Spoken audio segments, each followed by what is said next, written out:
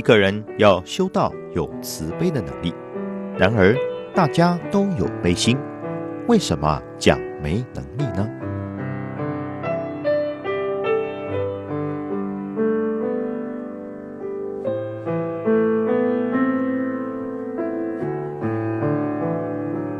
因为你只爱你的儿子，但没办法爱敌人的儿子，这种能力就不圆满。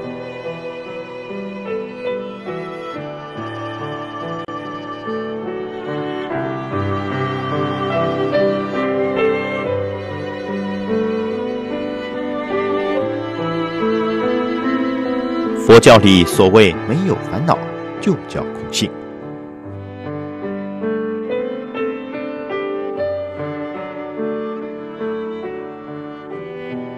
南无本师释迦牟尼佛，意思就是我们要用整个生命来学习慈悲，以智慧来圆满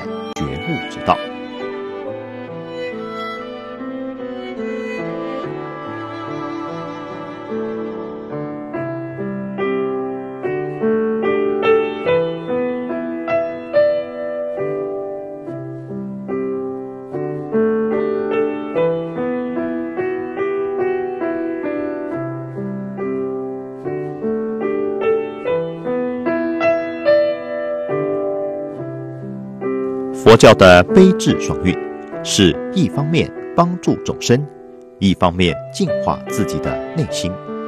这两样圆满了，就是两足尊。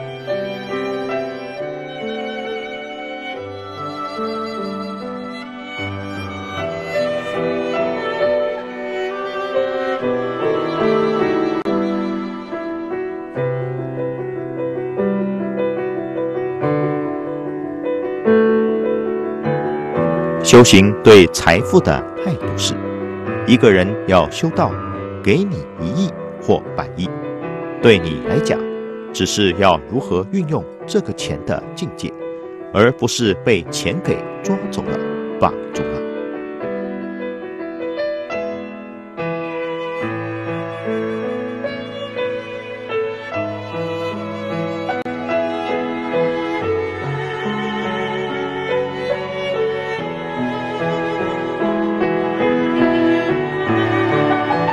学习佛法，就是你会兼顾到别人，这叫学习佛法。缘起性空，就是没有自己，只有别人。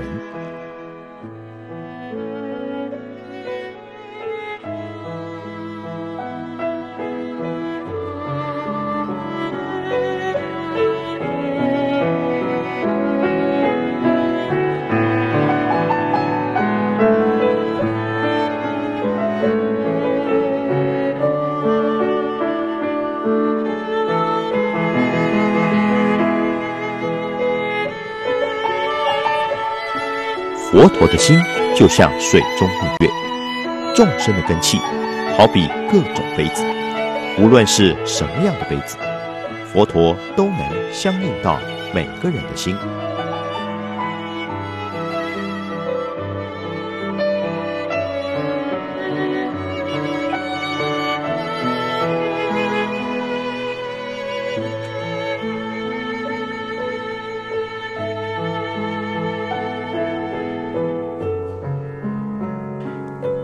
开始学习替所有的人想，替所有的山河大地，替世间着想，想他们如何离苦得乐。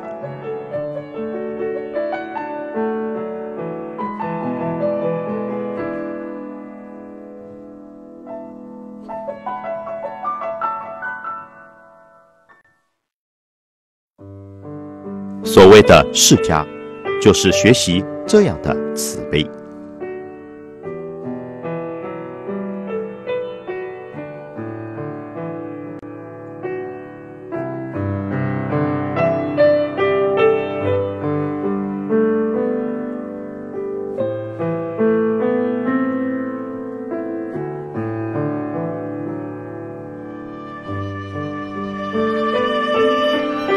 我们生生世世为慈悲智慧而努力，直至成就佛道，就能够像阿弥陀佛、药师佛一样，名字成为一个功德名号。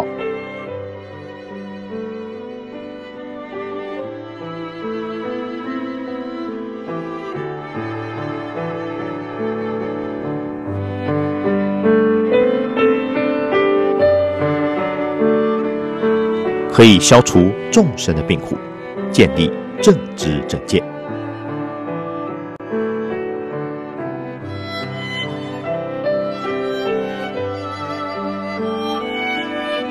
修行只要有大悲心，佛的能力就会印在你的身上，就像电灯本身不会发亮，但只要接上了电，它就可以散发光芒。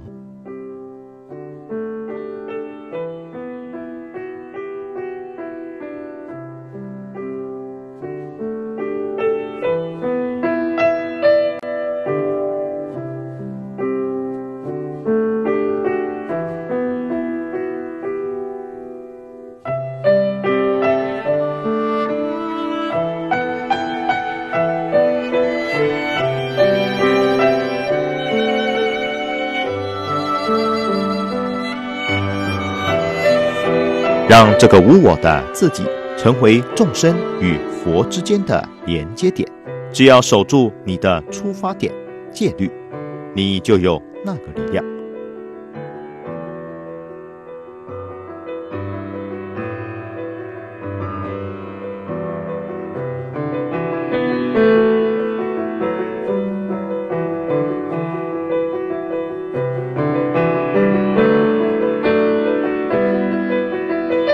戒在即佛在，有戒即有法。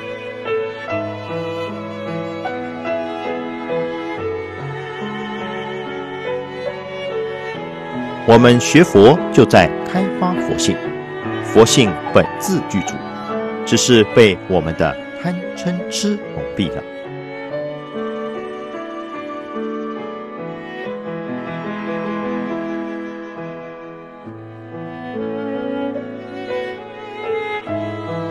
如法持守戒律，就能把完全的佛性给展现出来。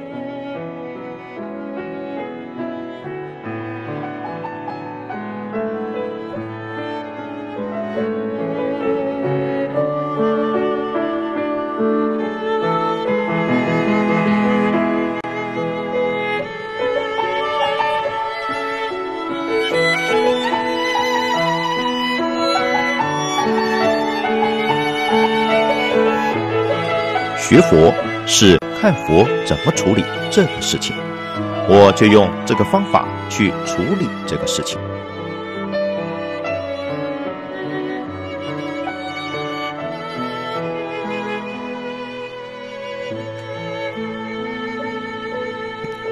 不能加入自己的个性或想法，否则就是脱离佛法了。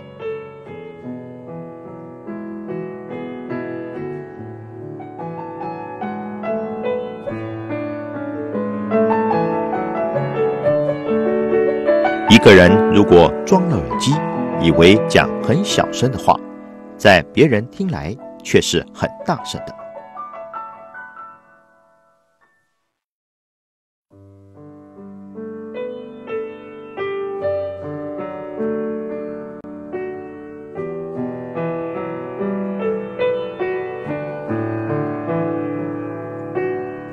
相同的，我执太重，也是如此。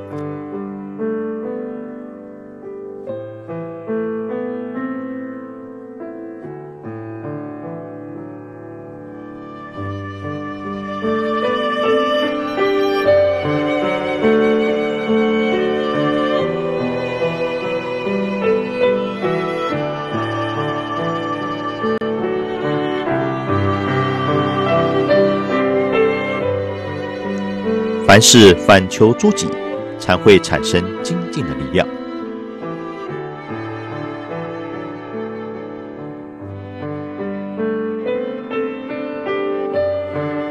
你要吃的甜头，同样的，也要为他付出痛苦。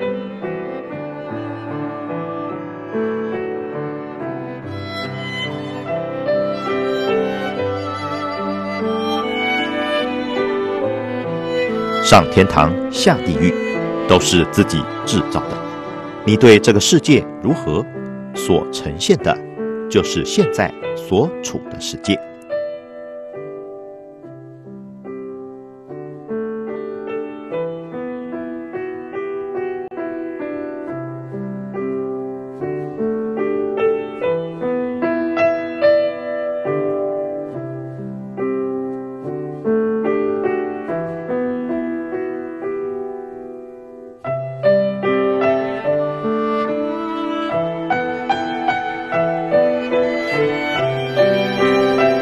世间不可能毫无缺点，但是看到缺点以后，你就会起心动念，这叫嗔恨心。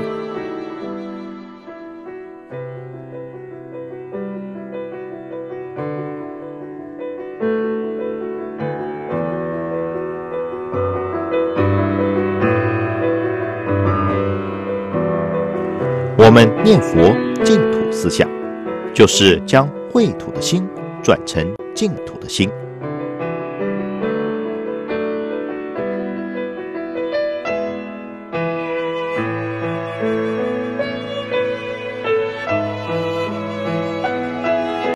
心改变了，外表就改变了。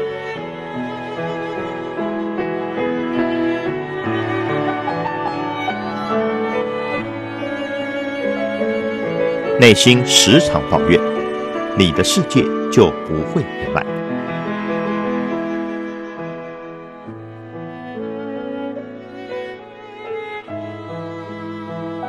学佛就是在学这个心，心创造你的世界。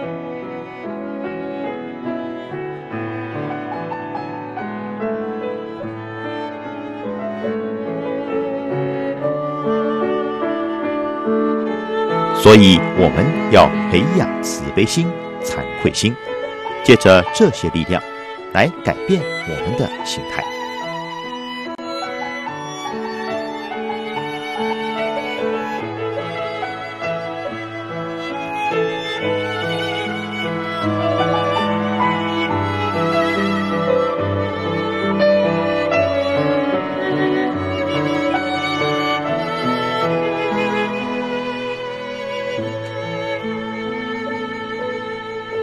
因此，快乐要先学习从宽恕别人而来。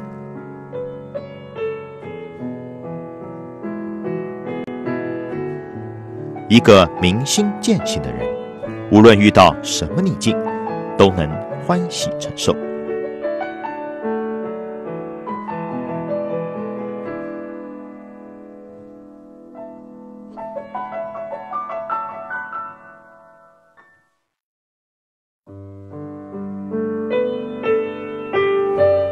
情无情世界，都跟我们有关系。我们希望生命得到快乐，就要制造好的因。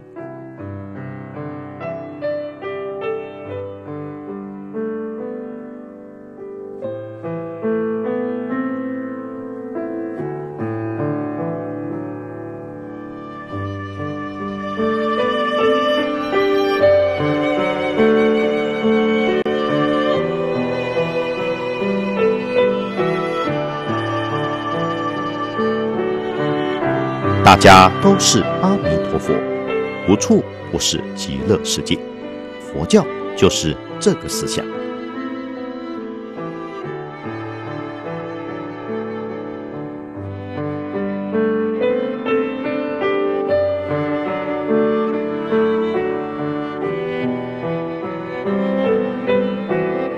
念佛看到别人的优点，念净土看到这个世界的优点。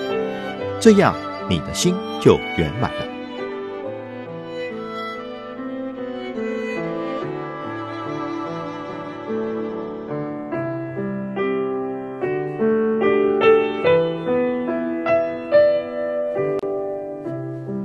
这就是清净观、空观与慈悲观。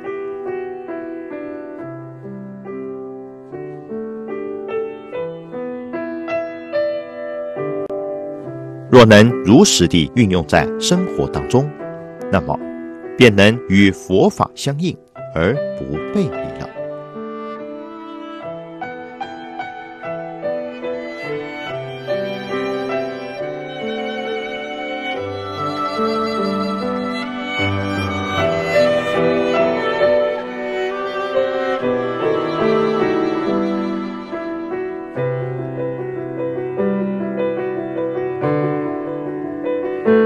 希望别人对你怎样？你先要改变你自己。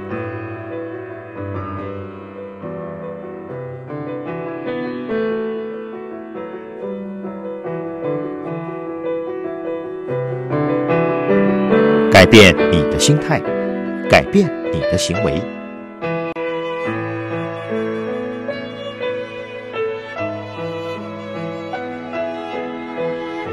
学习佛陀圆满的慈悲与智慧，悲智双运，自施施人，以这个教育自己，也以这个来引导别人。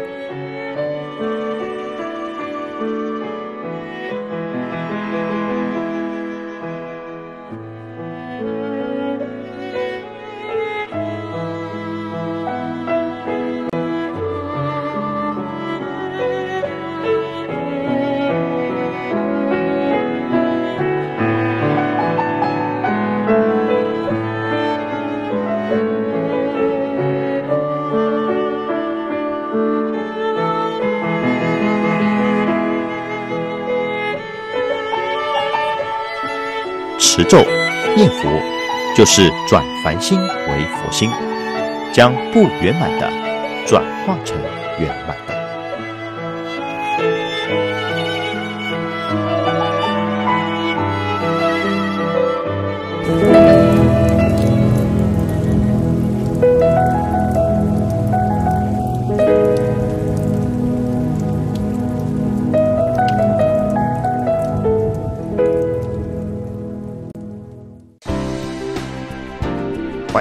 教育基金会感恩各界护法大德及善士们的爱心护持，温暖每一个受帮助的家庭及儿童。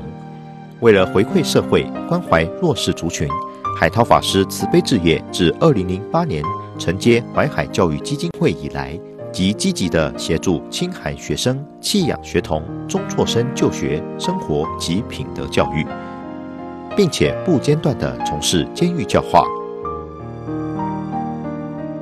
济贫发放、急难救助、老弱病苦、单亲家庭、新住民和原住民家庭之关怀，以及协助未婚妈妈及未婚子女的安置等，以圆满老安少怀，并发挥佛陀无缘大慈、同体大悲的精神，让社会上的弱势者也都能感受到人间处处充满慈爱与温馨。淮海教育基金会呼吁大家共同来关心社会上的弱势族群，累积福慧资粮，并祝福所有的家庭以及孩童都能在佛陀及正法的护佑下，身心健康、平安吉祥。护持淮海基金会，发扬佛陀大慈爱，援助弱势众族群，同离忧患常安乐。护持账号：五零零五九八二四五零零五。九八二四，户名淮海教育基金会。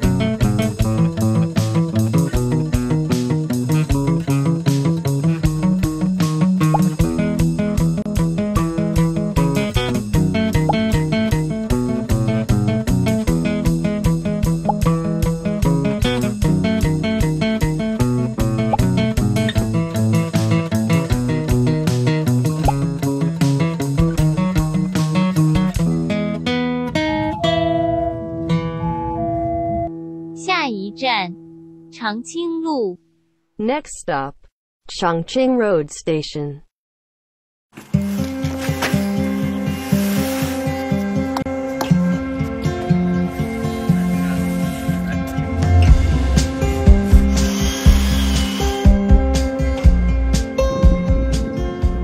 慈悲湖从开办到现在已经有八年的时间，因为刚开始来的时候是一片漫湖然后整个都覆盖在那个杂草里面，一点一滴开始师傅是发起建七宝佛塔，建了这个七宝佛塔之后呢，来办法会还是觉得很多的待新建的事情哈，从这个大殿完成到种种仓库完成哈，大概一百零五年，慢慢陆续可以。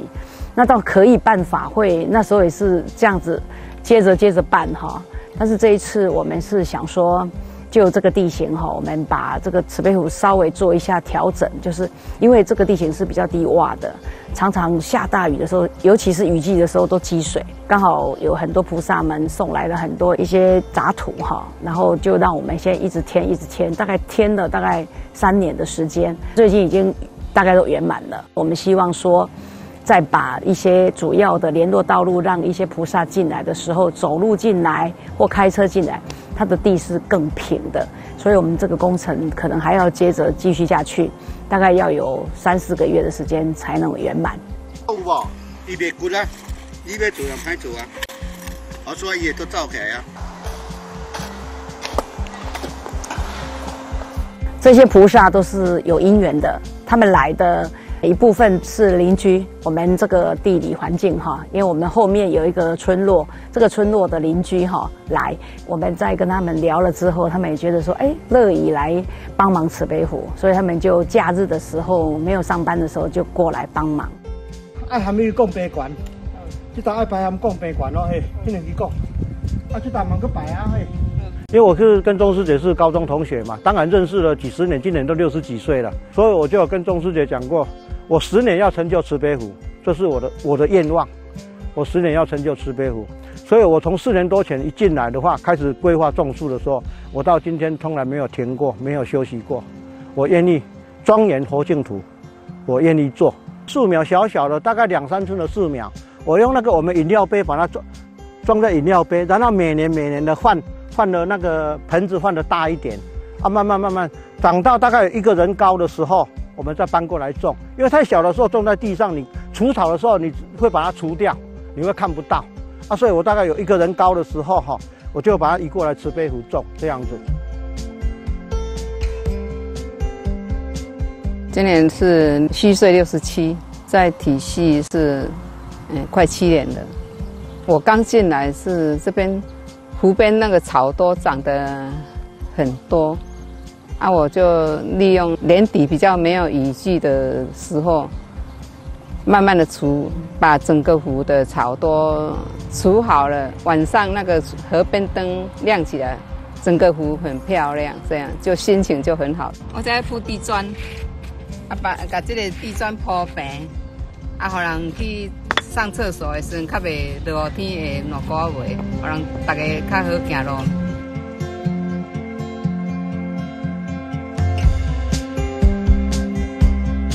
今年五十七岁，在梅山户生人区四年半，我来慈悲湖帮忙工作三个月，铺地砖，因为地砖铺完要有要有水平，比较整齐，铺越整齐就表示我们呢做的越好。假如说铺不整齐，人家看起来啊你随便乱做，就没有成就感。另外几个老菩萨呢？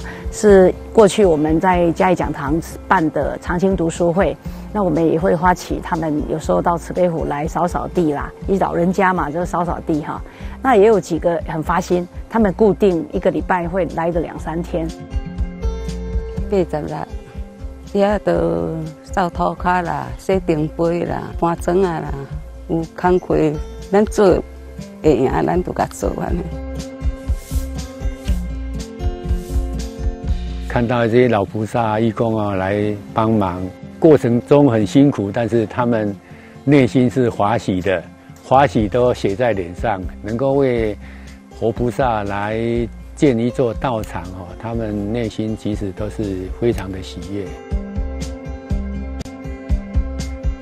慈悲湖哈要成就哈，成就这一块佛陀的境地哈，其实要花了很多的心，还有花了很多的金钱，然后还好有钟淑文师姐，哈，她提供了一块田，所谓的田，让我们来种福田呐，好，我是抱着这一种心呐，好，他有提供这个场所让我们来做，好啊，这是非常好的事情，非常心里是非常高兴。有像夏，现在还是冬天，像夏天的时候，一坐下来满头大汗。钟师姐就问说：“王明宪，啊，你拢袂忝了？”我讲：“会啊，我就袂忝。其实做做到这身躯那袂忝，足忝的啊。但是我心情足好的啊，我会很高兴。好，是这个，是这样子。啊，所以每个位师兄来这边的话，大家都笑眯眯的，做到规身躯乌索索，但是大家拢足快乐的，直接快乐等于嘛拢足快乐的，就充满了欢喜心。”我就感觉讲做了，身体真好啦。所以有需要还会过来帮忙。虽然很辛苦，可是也是值得的。只要身体可以的话，就一直做下去啊。环境这么大哈，几乎有大概快两公顷的土地。那在这个土地上，其实要建设的时候说不完，也讲不完，然后也做不完。如果说有更多的义工菩萨愿意加入，出钱出力嘛，那我们也是在最少的范围、最少的财力发挥之下哈，希望更多义工的投入哈，来把这个慈悲湖哈建设的更庄严，然后未来也希望说更多的义工能够慢慢的接引进来。阿弥陀佛。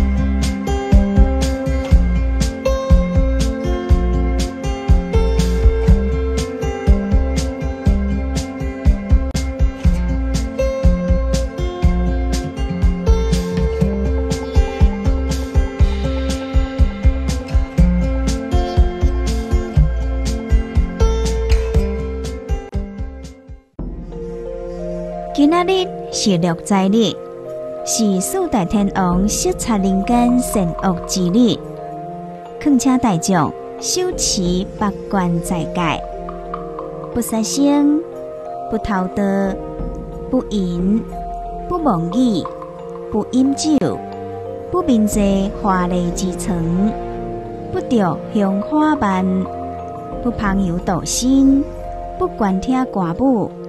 不会时事，也就是七灾贵我不息，喜喜功德，阿弥陀佛。九九流浪的河